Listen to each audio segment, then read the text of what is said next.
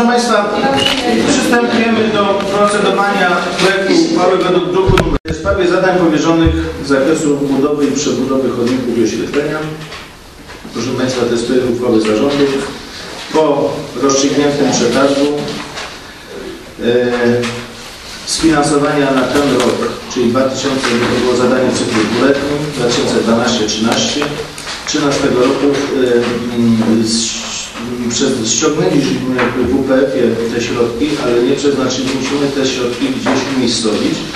I propozycja zarządu jest w związku z tym, że są ochronione środki na e, y, rem- prace remontowe drugich chodników, żeby pozostałe środki to jest 85 tysięcy złotych. Chciałem... Co się stało? 85 tysięcy złotych na przebudowę drugich chodników pozostałe kwoty poprzednie.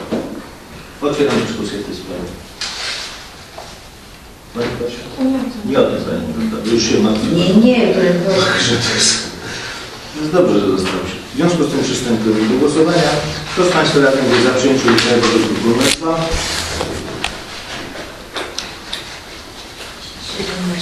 Dziękuję. Kto jest przeciw?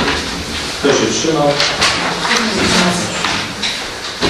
Jedna osoba się wstrzymała, 17 za, 0 przeciw, jedna wstrzymująca. Stwierdzam, że Rada przyjęła uchwałę według druku nr 2.